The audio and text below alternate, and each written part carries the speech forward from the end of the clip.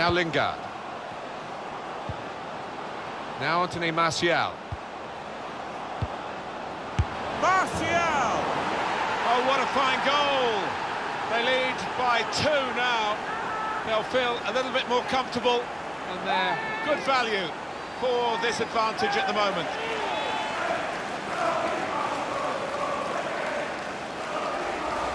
Replay confirming for us here that the goalkeeper did get a touch, but not strong enough to keep the ball out of his net. Well, he is his own harshest critic, this lad, and he'll blame himself for that, I think, having got a touch.